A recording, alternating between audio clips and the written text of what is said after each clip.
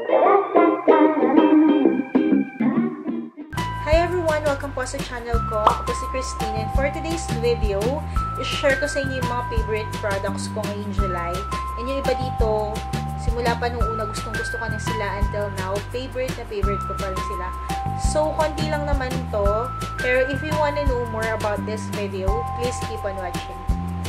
So, ang kaunahan na product na share ko sa inyo, ang pinakang gustong gusto kong product sa lahat ng to, ay itong Soapy Paris Magic Pink Blush and Cream. Uh, simula college pa lang ako talaga gamit ko na to kaya ayoko mawala talaga to. Gusto ko, nag-hoard ako dito. Talagang dapat lagi marami akong binibigay kasi ayoko nang mauubusan ako. 110 siya. Dat, nagmahal na talaga siya. Grabe. Ganun na talaga siguro katanda. Kasi naabutan ko to 69 pesos lang. Tapos ngayon 110 na. Yun. Maganda to. And ang second ay itong EB Advance BB Cream. Itong ano, dalawa kasi ito eh. Yung isa nito yung color pink. Ito yung favorite ko. Mas gusto ko to. Whitening. Whitening siya. BB cream na whitening.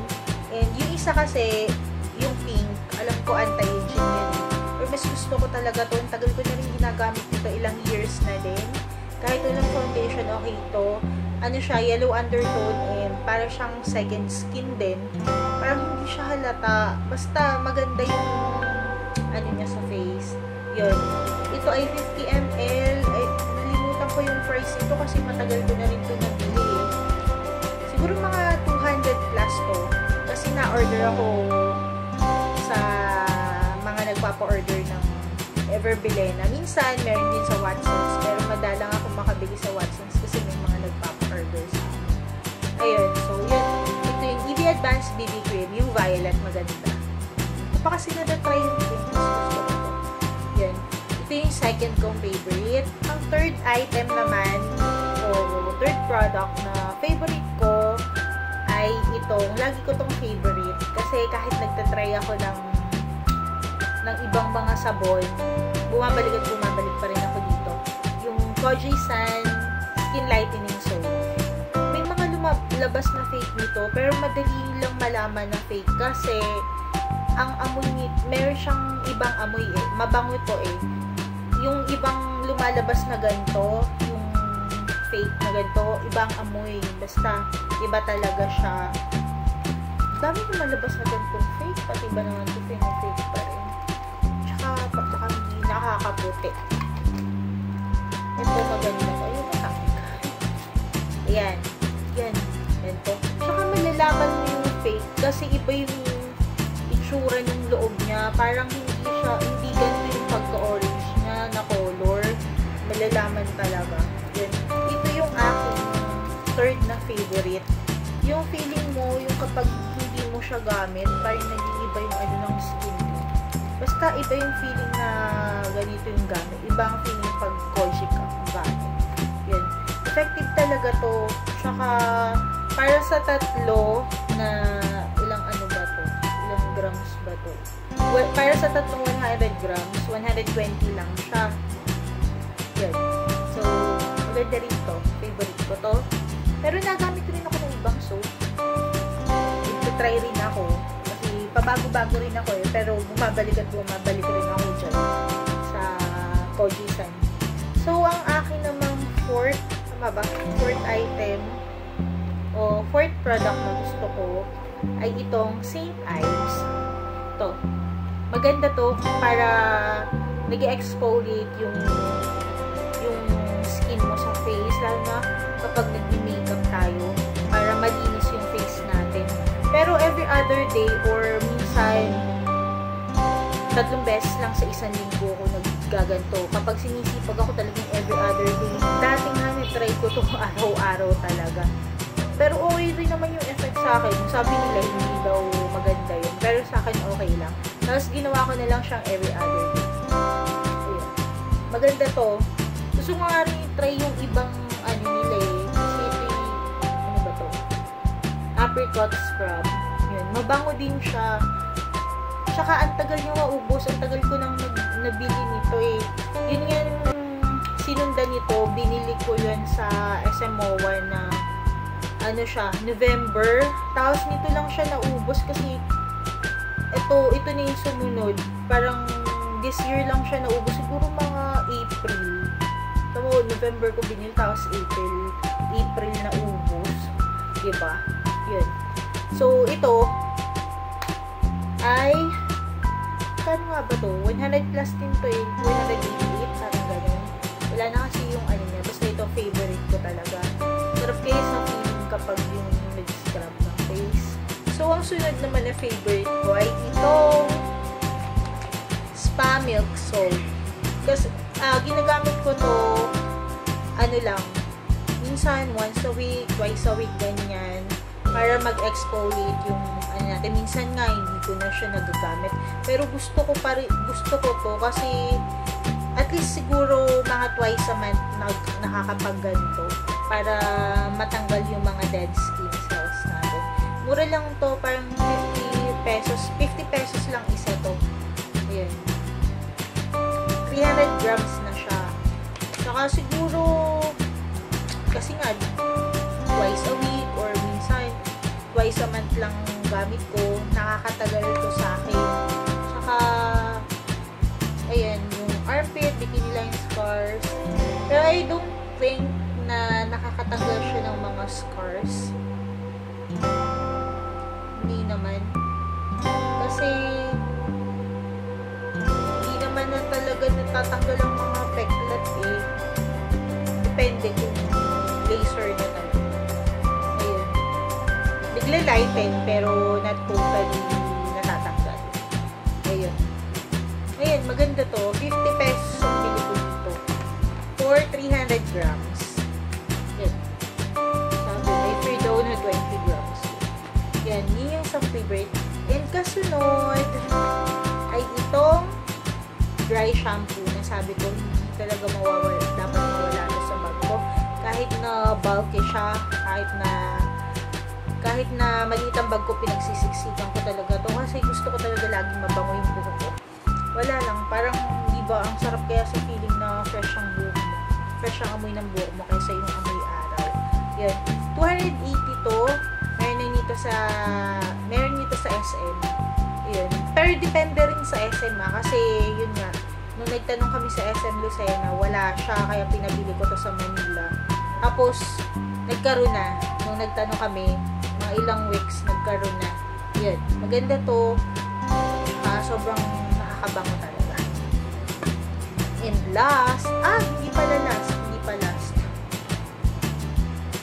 Um, may last three pa. Ito yung isa, yung Michido na mascara na 7 times volume. Ito yung maganda. Marami kasi silang klaseng mascara eh. Pero ito, promise, ito maganda talaga. Lagay mo lang sa pilik mo. Yan nga yung gamit ko ngayon eh. Hindi lang ako makakalapit kasi yung focus nun, kahit lumapit ako malabo pa rin. Lalabo siya kasi dito sa pwestong ko nakafocus yung camera ko. Hindi ko talaga magamit yung autofocus niya. Sobrang magalaw. Ayun. So, ito, ang ginagawa ko nga dito, four layers talaga. Unang-unang layer, pinatutuyo ko. Tapos, susunod ko lang pangalawa, pangatlo, pangapat. Yun. Tsaka, ang ginagawa ko, inuuna ko muna ang eye curler before ako maglagay nito. Kasi, pag nag ano muna, pag naglalagay ako, nag-try ko na kasi naglagay ako, tapos nagsaka ako nag-eye curler. Na ano siya, parang natatanggalan ng ganito. Parang naaanuhan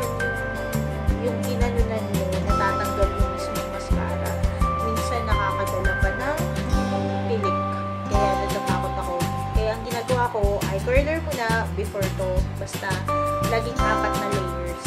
Kaya talagang sobrang taas ng pilik. Yan. Ito favorite ko to. Um, parang lagi siya naka-sale eh. Lagi siya naka 25% off. Kasi lagi siya 216. Pero yung nakalagay sa original price niya, 288. Naging 216 na lang siya. Ilang beses na ako nakabili ng ganyan na 216. Dapat nilalagay na lang nila 216, binigyan pa nila 30% off. Eh, lagi naman yun yung price nila. Ayun. Yan, maganda yun. Kasunod, itong, ayan, oh, luma-luma na. Itong Everbilena na Posh Palm. Ah, Posh Plum. Posh, Posh Plum, Palm posh Plum. Yung ano, ito, o yun, oh, umaunti na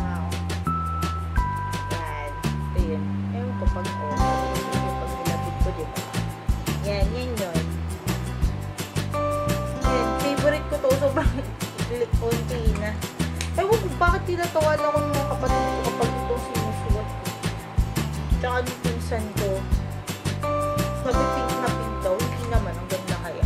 Ayun. Maganda to. Matte lipstick to sa Everbile ng yun. Nagliputan ko na 100 plus lang to. Muro lang to. And ang last ay itong I White Korea Facial Wash. O kita nyo naman. O, wala na, di ba? Ubus na. Ayan, sobrang favorite kasi ubus na.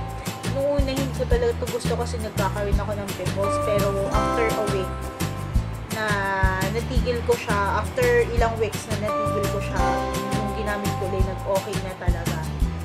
Kaya gusto ko na rin siya kasi parang napansin ko, nung ginamit ko siya ng ginamit, nag, uh, tang, natatanggal yung mga ano, yung mga dark spots.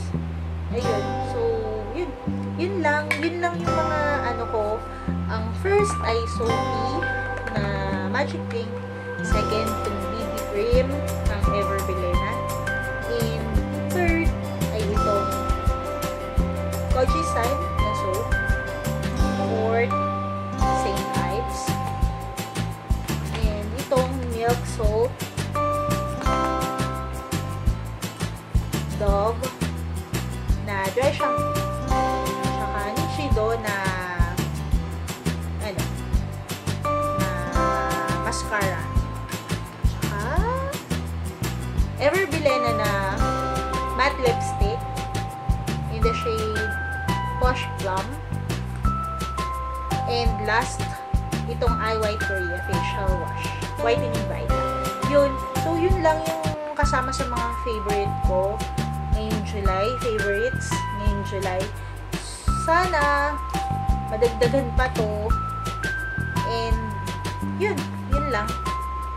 So, yun lang. Yun lang yung may aano ko sa inyo. Masashare ko sa inyo sa ngayon. Sana next month madagdagan pa o hindi natin alam. Baka mamaya mabawasan pa to. Hindi natin alam. So, yun. Thank you so much for watching this video. Sana nagustuhan nyo. Pa kayo nakakapag-subscribe sa channel ko, please subscribe to my channel para ma-update kayo kung ano yung mga bago kong videos.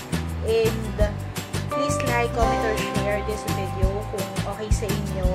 Or comment kayo kung hindi nyo nagustuhan din para malaman ko kung ano yung mga kulang ko pa o mali ko pa. Na, o yung mga dapat kong gawin para ma-improve ko yung video ko. Kasi nag-start pa lang naman ako, kagaya nga sabi ko sa isa kong video nagsimula-simula pa lang naman ako. Thanks so much for watching. I hope to see you in my next video. Bye!